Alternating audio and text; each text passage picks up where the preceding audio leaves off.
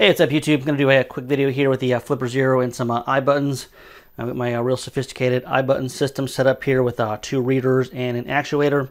And of course our Flipper Zero. So when an iButton touches either reader, it'll just uh, throw the actuator here. Now I've um, got two tags here. Neither one of them right now is actually programmed. Uh, black one is the master, so we're going to go ahead and program the blue one, and then we'll copy it with the flipper and emulate it. So to program it, just touch the reader, single beep for uh, confirmation. Exit programming. And now if you watch the actuator here, if I touch either reader, I'll actually uh, throw the uh, actuator here. And now we can actually use our flipper zero and we can actually copy it. So what we're to do with the flipper, I will go to uh, button and we'll go ahead and just go to read. And now I got our pins on the back. It's labeled GPIO17, which just corresponds to GPIO17 on top here. And we just touch it in there, and it'll uh, vibrate and beep saying that it read it. So now from here I can save it, emulate it, or write it, although I've had the writing part work very intermittently. And if anybody has any tips on that, you can leave it in the comments because I'm, I'm curious. I've had it work maybe like 1 out of 50 tries. Uh, saving it though, quick something, fine and then so we go into here we'll go to uh, emulate.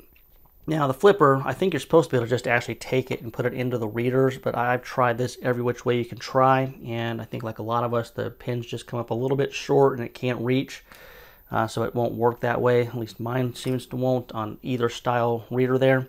Uh, workaround on that though is you can take some 22 gauge solid core wire and you can use the GPIO pins on top here. Um, you know 17 is what corresponds with the bottom and then 18 of course is ground.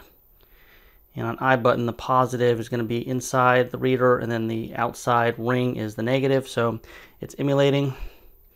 And if you just touch it it actually will throw the actuator. So that's a little bit of a workaround for it. And then uh, so that that's uh, just copying a uh, iButton and then emulating it. And like I said you're supposed to be able to write these uh, but I've had that work uh, hardly ever. Uh, so, I mean, we'll try it real quick. I don't think it's going to work, but basically what you would do is hit write ID, take an unprogrammed, you know, iButton here, and you should just have to touch it right here, and it should actually work, but like I said, I've not had much success with that. I got a few more we can we can try real quick here. and these are rewritable. I have I do have an iButton reader, copier, writer standalone thing that does write these, so I know they're writable.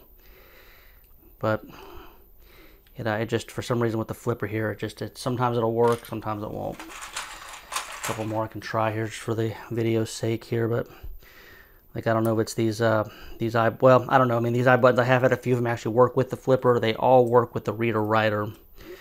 So I don't know if anybody has any insights on that. Uh, I would love to know if you want to leave me a comment. I would, you know, love to know what people's thoughts are on that. But uh, I don't think I've got anything else here for the iButtons. If you have any uh, other questions or comments, of course, uh, put them in the comments. And I think that's enough uh, talking for now. Well, I'll talk to everybody later.